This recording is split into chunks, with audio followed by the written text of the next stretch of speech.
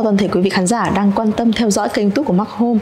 Quý vị thân mến, ngày hôm nay thì chúng tôi rất vui khi lại được đồng hành cùng với quý vị à, để tìm hiểu những vấn đề liên quan phong thủy. Và trong thời gian vừa qua thì chúng tôi nhận được rất nhiều câu hỏi từ quý vị khán giả gửi về. Tất cả đều liên quan đến vấn đề về xây dựng làm sao để phù hợp phong thủy của gia đình. Và ngày hôm nay thì tiếp tục đồng hành cùng với chúng ta đó chính là thầy Vũ Đình Xuân Một chuyên gia phong thủy hàng đầu tại Mark Home. Xin chào thầy. À, xin chào các bạn. Dạ vâng ạ. À, ngày hôm nay thì hiện tại trên tay của Ngọc Huyền đây thì đang là một list những cái danh sách câu hỏi từ quý vị khán giả gửi về.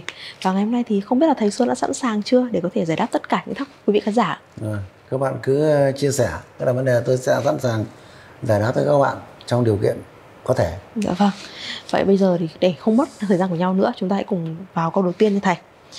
À, câu này ạ, thì à, thầy có thể là hoan hỉ cho tôi hỏi là sinh năm 1981 thì làm nhà năm 2025 có được không? À.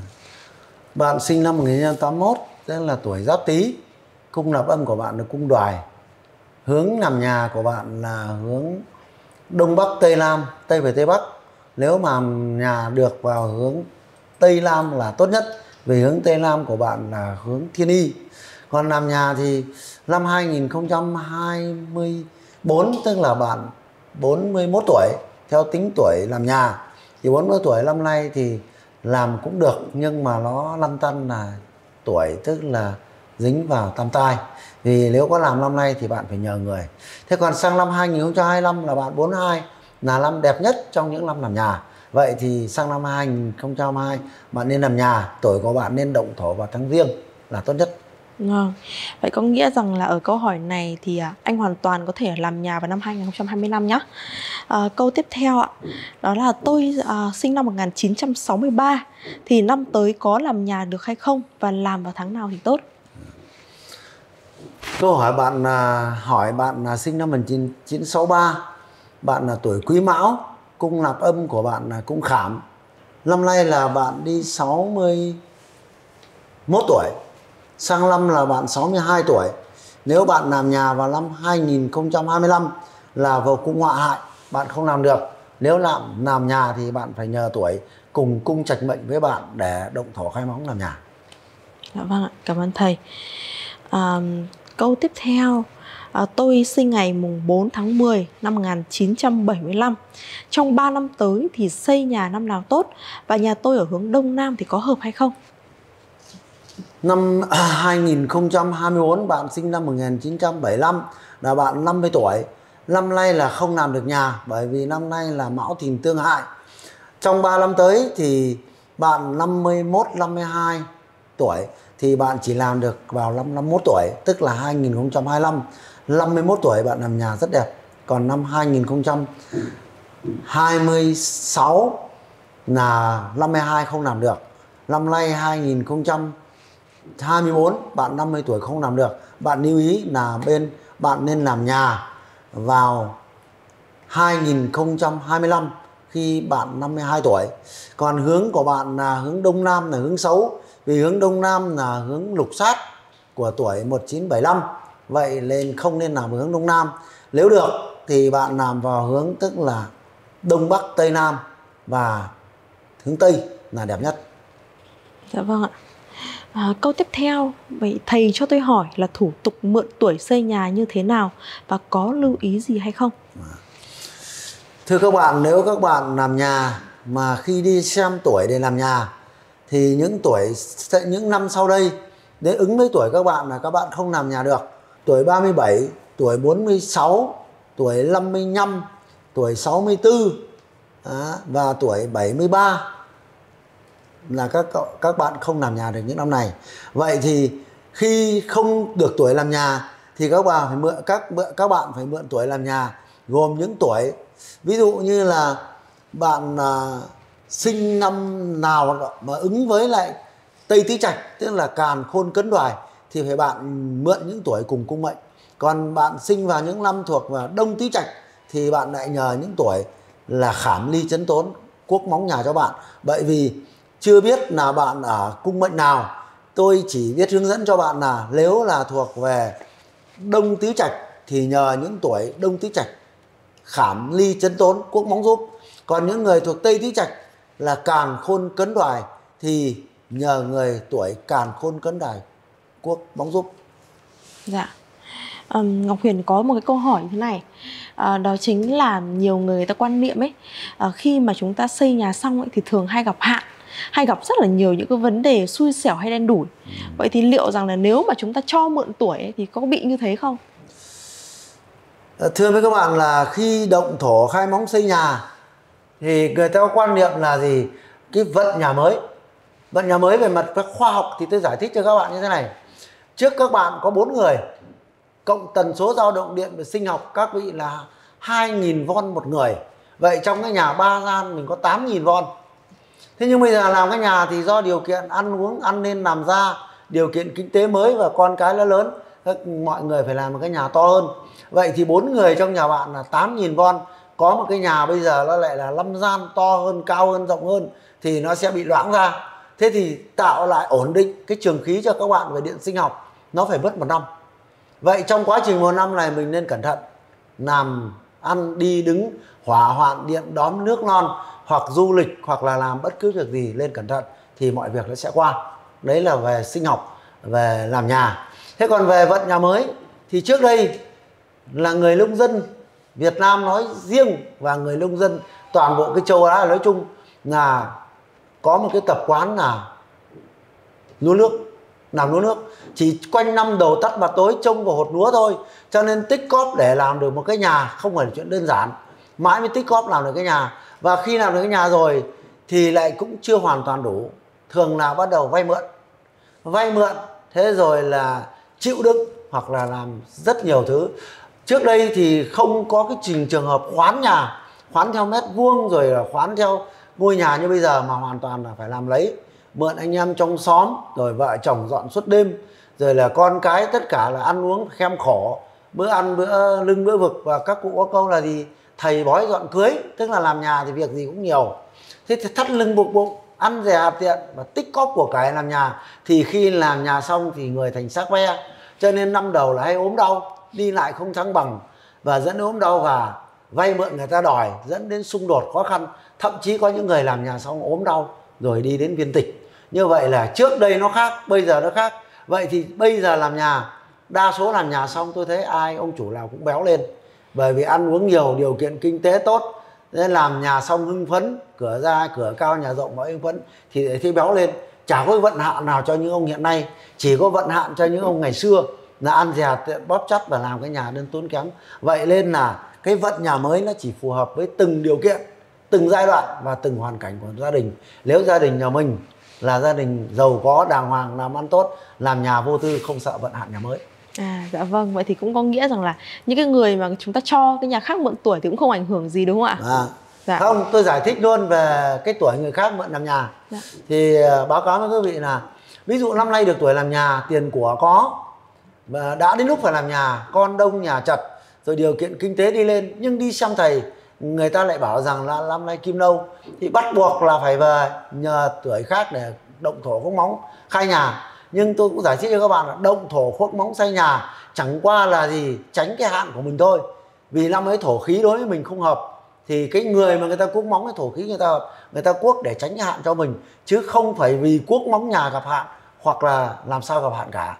Cho nên các bạn nhờ người cuốc móng, động thổ khai móng xây nhà hoàn toàn yên tâm. Chỉ cần cẩn thận trong khi hành sự là được. À, dạ vâng, cảm ơn thầy. À, câu tiếp theo ạ là thầy cho em hỏi, em sinh năm 1986, mạng hỏa cung khôn, em làm nhà về hướng Tây và Tây Bắc. Thầy cho em hỏi là nếu làm hướng Tây thì lấy từ tim nhà ra là bao nhiêu độ hướng cửa và ngược lại làm Tây Bắc thì tim nhà ra tim cửa chính là bao nhiêu độ ừ. hay là cứ quay về Tây hoặc Tây Bắc là được rồi ạ? Giải thích với các bạn là hỏi về vấn đề này cũng hoàn toàn chính đáng thôi mà thông cảm thôi. Vậy thì quả địa cầu này người ta chia ra thành 360 độ. Mỗi một hướng ấy là 45 độ, hướng Bắc là 45 độ, hướng Nam 45 độ, hướng Tây 45 độ và hướng Đông là 45 độ. Còn các cái khe còn lại của giữa Bắc và Đông người ta gọi là Đông Bắc. Giữa coi như Đông và Nam người ta gọi là Đông Nam. Giữa coi như Nam và Tây người ta gọi là Tây Nam và giữa Tây và Bắc người ta gọi là Tây Bắc thì đấy gọi là tám hướng. Thế thì bốn phương tám hướng người ta chia ra làm 24 sơn 8 hướng, mỗi hướng 3 sơn, mỗi sơn của nó là 15 độ. Thế bây giờ các bạn chia ra, hướng bắc của nó là 360 độ. Vậy thì lùi sang mỗi bên là 12 độ 5 vẫn là hướng bắc. Ví dụ 360 bằng 0 độ, hoặc là 360 thì sang phía đông là 2 40 4 30 tức là 25 à, độ 5 nữa, thì mới là hướng đông bắc. Còn hướng thuộc khoảng 12 độ rưỡi, hắt về không độ thì vẫn là hướng bắc vậy khi các bạn chọn hướng ấy, thì các bạn chọn đấy bốn góc, bốn phương tức là 360 90 180 và 270 làm đường trung tâm. Khi mỗi đường trung tâm mình rẽ sang cái đường trung tâm này, mỗi bên là bên phải như vậy, bên trái như vậy là từ 12 độ hắt về đường trung tâm là vẫn là hướng chính của nó. Ví dụ hướng bắc là 306 độ, thì 372 độ tức là vẫn là hướng bắc.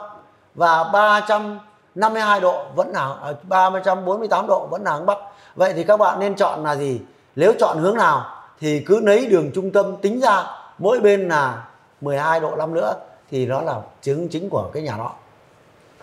Thế mà à, tức là đứng mà tính hướng ấy thì người ta đứng ở giữa trung tâm nhà. Người ta lấy 3 điểm của giữa cái miếng đất mà mình nhà ở giữa chạy về đường thẳng, đặt cái la bàn chạy song song với, kim la bàn chạy song song với cái dây căng của mình đó thì mình biết được hướng. Và cứ quay về tây hoặc tây bắc là được ạ, thì không phải. Nếu mà hướng tây thì có ba sơn, mỗi sơn của nó là 15 độ. Thì mỗi sơn này nó có, cũng có những cái cái cái hướng là ba sơn tốt thì có hai sơn xấu, một sơn tốt. Có những cái hướng lại là hai sơn tốt, một sơn xấu như vậy là nếu hướng tây mình cứ lấy chuẩn là từ 15 từ 90 độ từ 270 độ lệch trong mỗi bên 12 độ là hướng tốt. Còn tất cả các cái sơn khác đều là không tốt. Vậy thì trong xấu có tốt trong tốt có xấu. Một sơn là ba hướng mỗi hướng là 12 độ. Vậy à, một hướng là ba sơn mỗi sơn là 15 độ. Vậy các bạn lưu ý để lấy hướng cho phù hợp. Dạ vâng ạ. À, câu tiếp theo là chào thầy. Chồng con sinh năm 1963 dự định làm nhà vào năm 2025 thì quay về hướng đông nam liệu có hợp tuổi không và nên làm tháng mấy ạ Chồng mình là sinh năm 1963, dự định làm nhà 2025 là 6 tuổi 63 là năm nay là 61 tháng năm là 62. Sáng la sang sang năm 1900 2025 là chồng mình tuổi 62 tuổi là tuổi mụ, tính cung du liên kiến trạch và họa hại. Chồng mình không làm nhà năm này được mà phải nhờ người những người khảm ly chấn tốn, có cung khảm, cung ly, cung chấn, cung tốn, người ta cuốc bóng giúp. Thế và chồng mình ấy là sinh năm 1963 quay nhà hướng đông nam là hợp tuổi làm rất tốt không sao cả. Chồng mình sinh năm 1963 là được hướng bắc hướng nam đông và đông nam. Nhưng nhớ là sinh năm 63 là tuổi quý mão thì hướng đông ấy là hướng mão.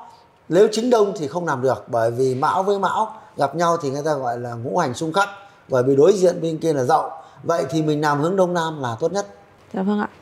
À, câu tiếp theo là đất nhà tôi thì phân lô chỉ có một hướng duy nhất hướng ra đường.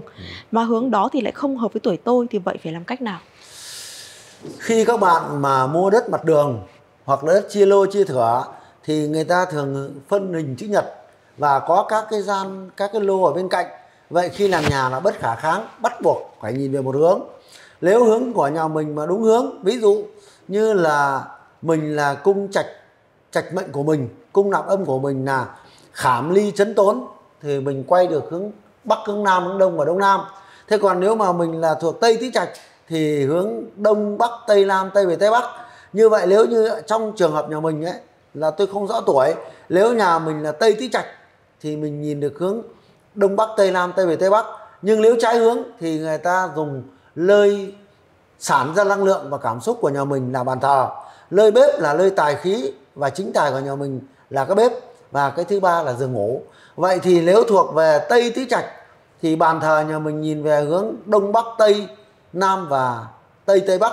Nếu nhà mình là thuộc chồng về thuộc về đông tứ trạch thì cái bàn thờ nhà mình ấy, cửa chính nhà mình về hướng bắc, hướng nam, hướng đông và đông nam nhưng nếu trái hướng thì mình dùng cái bếp quay lại hoặc bàn thờ quay lại tức là bao giờ cũng đổi hướng ngược lại so với cái trạch mệnh khi mình không phù hợp Thế vậy thì có nghĩa rằng là à, khi mà hướng nhà không hợp rồi chúng ta hoàn toàn có thể khắc phục bằng cách là quay lại hướng à, ban thờ này hay là hướng bếp hợp tuổi phong thủy đúng không ạ? Đúng rồi. Quay nếu các bạn nếu không hợp hướng thì có thể xoay bếp bàn thờ và giường ngủ. Giường ngủ nữa. Dạ, dạ vâng. Thì có thể là thay đổi được. Vâng. Và câu tiếp theo thì cũng chính là câu cuối cùng trong chương trình ngày hôm nay ạ. À, tôi rất thích mẫu nhà dạng hình chữ L. Nhưng mà tôi thì tìm hiểu được rằng là nhà hình chữ L ấy, thì đây sẽ là một cái nhà dạng hình bị khuyết góc thì nó sẽ không tốt. Vậy thì có cách nào hóa giải được không? Khi các bạn xây nhà thì tốt nhất theo phong thủy đông á thì nhà hình chữ nhật có đông xương và tây xương có trái có phải ở giữa là thờ cúng hai bên là buồng hoặc bếp thì đấy là theo phong thủy đông á, là có đông xương và tây xương thì rất là thuận. Thứ hai này là nhà hình hộp, tức là hình hình vuông. Ba là hình chữ nhật, nhưng mà mặt tiền phải rộng, chiều ngang nhà phải rộng thì mình có cải hóa phong thủy rất tốt. Thì hiện nay là hình nhà chữ N thì nó là nhà bất lợi. Bởi vì sao?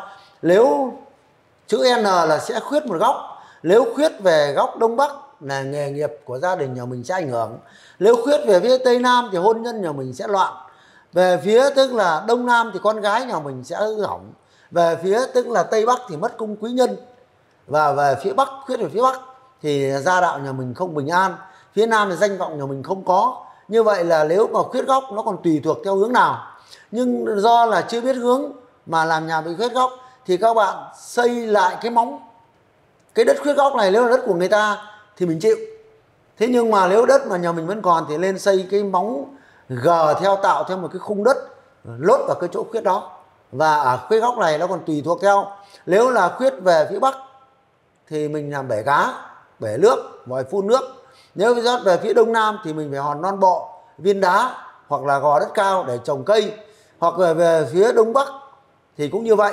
Thế về phía tây, thì tức là mình phải dùng chuông gió chuông gió, hoặc là tức là cái tượng đồng về gà về thú ở đằng phía tây và tây bắc thế còn về phía đông nam thì mình phải lưu ý, nếu về khuyết về đông nam mà mình không dùng những cái chum nước hoặc những cái linh vật cát tường mình để thì tài lộc của mình sẽ hao. Vậy thì bạn hỏi về vấn đề khuyết góc thì phải hỏi rõ là khuyết góc hướng nào cách xử lý làm sao? À, vâng vậy thì xin cảm ơn những cái chia sẻ rất là tâm huyết vừa rồi của thầy ạ. Và chúng tôi cũng hy vọng rằng là thông qua video này à, quý vị có thể là giải đáp được hết những câu hỏi này, thắc mắc về vấn đề liên quan đến thiết kế và xây dựng nhà ở phong thủy. Và nếu như mà quý vị nào còn bất kỳ một câu hỏi nào ạ có thể để lại bình luận ngay phía bên dưới nhé chúng tôi sẽ lên sóng giải đáp cho quý vị vào số tiếp theo. À, còn bây giờ xin chào tạm biệt và hẹn gặp lại.